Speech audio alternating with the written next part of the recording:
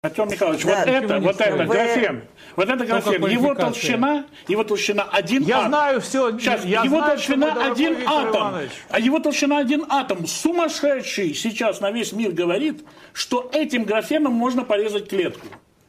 Но Я вас доказательством прошу, служит, всё и но доказательством наукой. служит истертый алмаз. Что можно говорить этим людям? Смотрите, толщина в один атом. У него есть напряжение на изгиб. Можно ли прижать так к клетке, чтобы он ее порезал? Это безумие. Давайте сделаем так. На нас сейчас на рекламу. Вы хотите мне что-то показать? Я хочу Иначе- показать наработку графенов. Э, У нас будет э, минуты три рекламы. Э, Вот начнем сейчас, закончим потом. Нет, я могу только в присутствии. Давайте Хорошо. так. Давайте так. Мне нужно. Есть у вас сейчас секунда? Нет? Секунда, давайте, Вот смотрите, зовите своего помощника. Смотрите, Да. вот это, вот это, вот это специальное вещество.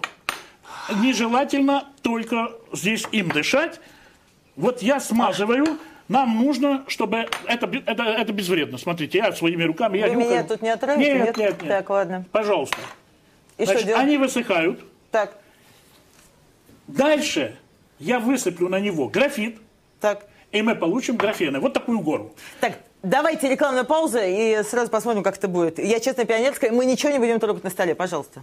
Так, сразу возвращаемся. найдет, Если можно, несколько сообщений. Пока я буду разговаривать. Лилия Орлова, Москва, пишет, мои знания физики и химии остались на уровне школьной программы, но я смеюсь, такие вещи вообще можно втирать только школьникам учебной программы. Спрашивает, а на какие, собственно, деньги вы проводите свои исследования и природу происхождения спонсорских денег? Почему все время говорите, я сделал, я изобрел, наверняка с вами работает много людей или помощники, почему о них не говорите? Потом еще э, здесь было где-то, забыла, забыла, забыла. Слушайте, найду, найду, много сообщений хороших. Так, продолжайте.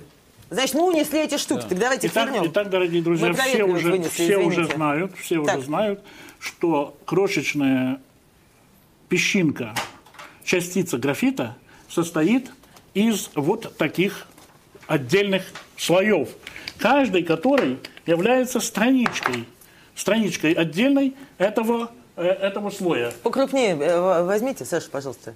Каждый из видно. является страничкой этого слоя. Теперь смотрите, вот это у меня в коробке графит. Так. У меня теперь эти штуки совершенно сухие, видите, да? Да. Все, вы можете потрогать, она, она сухая. Сухая. Я Горячая. беру, я беру этот графит, она тепленькая. Я беру этот графит и насыпаю вот на эту сухую пластинку. О, Господи, боже мой. Так вот, дорогие друзья, зрители, это графены. Между тем, как я получаю графены вот таким способом, вы видите, он взорвался один и дальше инициирует целую, целый окатышек этот, инициирует, он превращается... Вот она. А если это Господин, потрогать? Сейчас, секундочку, я, сейчас, я все вам предложу. Вот она, господин, здесь еще что-то сработает. Вот она у меня на кончике лежит. Вот это, господин Полищук, наука, большая наука.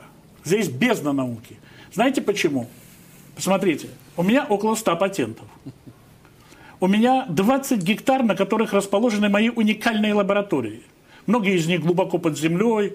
Я думал, вы приедете, увидите все это. Приезжайте. Я отдаю это плюс 10 миллионов тому, О, как? плюс 10 миллионов долларов тому, кто повторит этот эксперимент и наработает таким же образом э, графены. Слышите, что я говорю? Я готов заключить юридические контракты, я готов их подписать с любым в мире, с любым.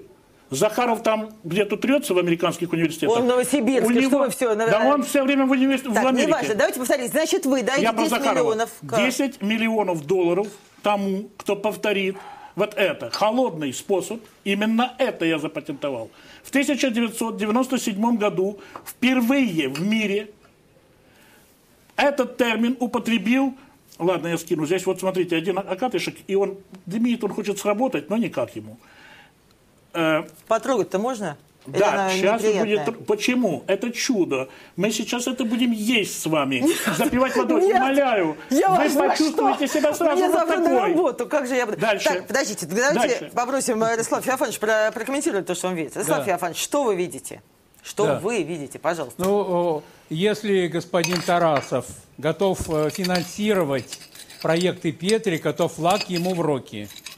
А что касается званий, ну, то столько великих ученых не получили академического звания, столько академиков э, делали ошибки серьезные в науке. Так что, по большому счету, это в некотором смысле ярмарка тщеславия. Научная истина, она равнодушна к авторитетам. И я э, за позиции интеллектуальной честности, безразлично к субъектам. Людей не хотел бы здесь Ника, обсуждать. Хотел понятно. бы обсуждать только научную Ника, сторону, но считаю, что хорошо. телестудия – это не место установления научной истины. Но вы же не хотите Понятно. приехать, Ника, чтобы установить Ника, ее. насчет инвестирования. Да. Ника. Да, Я Михайлович. специалист по теории ранней Вселенной. Мы 18 Дайте июля воды. запускаем Ника, Ника. радиоастрон. О, Я хотел найти людей, Радиоастрон. которые бы этим заинтересовались. Ну что я могу сделать? Э, Тут сталкивается мир истины, в котором бытует науки, с миром мнений, где возникают вот такие драматические проблемы, которые становятся предметом вот таких э, увлекательных телепередач. Зачем у вас это слово истина так на- Э, навязалось? но, ну, красивое. можно два пожалуйста, слова? Я Артем очень Михайлович, долго пожалуйста, молчал. пожалуйста. вот перед потому вами что- истина. Давайте, вот. Артем Михайлович, Значит, послушайте, пожалуйста. э, я очень долго молчал, Виктор Потому что Иванович. Променит открыл мир истины Значит, еще две с половиной тысячи ну лет всё, тому ну назад. понятно уже, и наука понятно. держится именно поняли. на этом, резко противопоставляя ему миру мнений. Но когда присуждают звания, патенты и прочее, там э, мир истины и мир мнений сталкиваются, потому что там голосуют. Вот что. Она истина сначала перед вами. Господин Полищук. Пожалуйста, остановите Сейчас, поток, секундочку, а. господин Полищук. Вот это сейчас в студии заберут в пакет и отправят Захарову, чтобы он отправил это в любой американский университет. И если у этого человека Ну, дайте есть хотя бы Тарасову, он же- тысячная доля чести, тысячная, то он нам потом покажет результаты. А мы сейчас все американские фотографии моего материала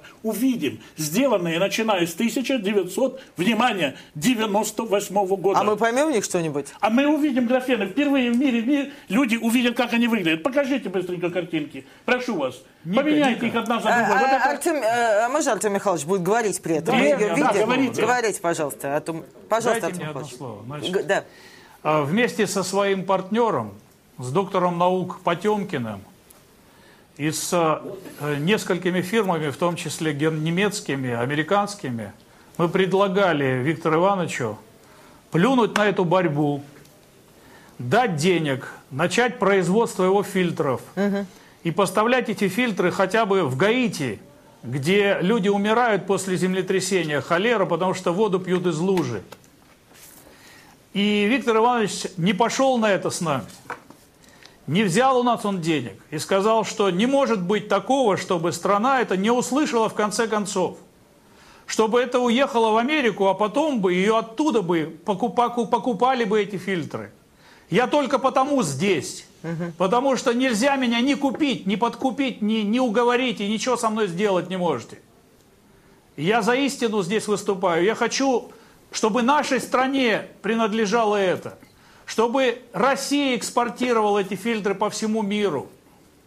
Чтобы наши дети были здоровые. Почему я здесь живу? Зачем я дважды возвращался из эмиграции?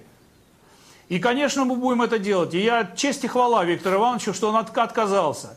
И как только, Виктор Иванович, вы захотите стать миллиардером, миллионером, не позорьтесь, не разговаривайте с этими людьми. Пусть они все уходят на пенсию. Если у вас маленькая пенсия, господа, и лженауки, я вам доплачивать буду, чтобы вы только не лезли и не мешали науке развиваться в России.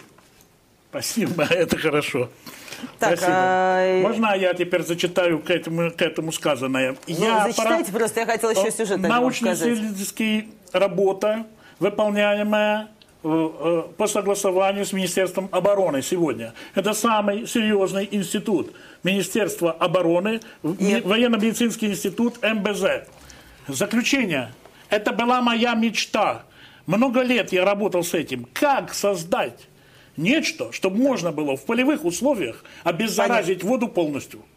И что, вы предлагаете это Сегодня, воду кидать? сегодня на вот этот графен, вот он графен, на вот эти периферические атомы Ну. я зацепил на уровне ковалентных или для вещество, во- вещество, вещество, оно не может быть оторвано. Оно здесь, оно единое целое. И? оно убивает. Что убивает? Они, прови- они сделали следующее.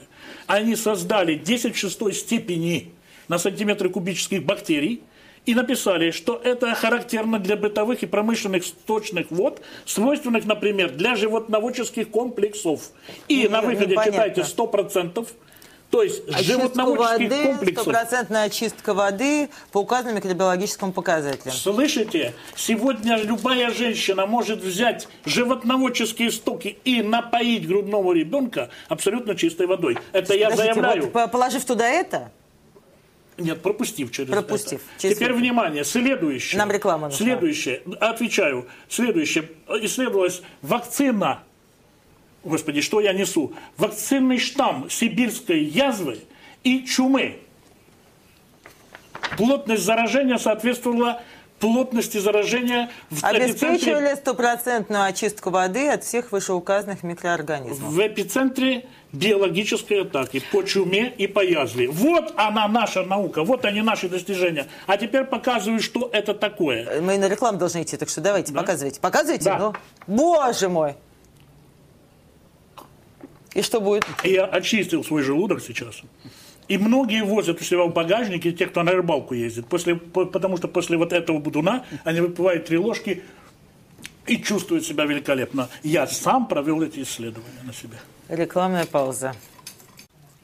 Так, возвращаемся в эфир. Поскольку сегодня много говорили о фильтрах, а Артем Михайлович говорил, мы э, давайте почистим э, воду. Э, к тому же, Виктор Иванович, либо я не правильно поняла, сказали, что вы даже ее пить собираетесь.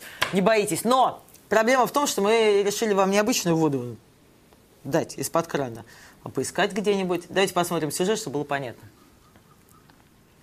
Если раньше воду из рек Петербурга можно было пить и использовать для бытового назначения, то сейчас экологи уверяют, делать этого нельзя. Из-за промышленных отходов, истоков бытовой канализации реки Петербурга буквально насыщены химическими веществами и различными бактериями. Давайте проведем небольшой эксперимент. Сейчас я попробую наполнить эту емкость, и мы посмотрим, что это за вода.